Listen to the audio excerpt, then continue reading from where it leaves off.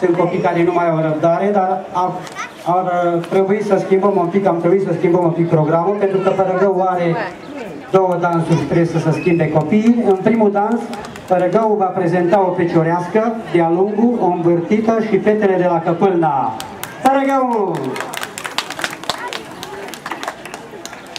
Primar Miloșan Ioan, instructor Popovici Marius.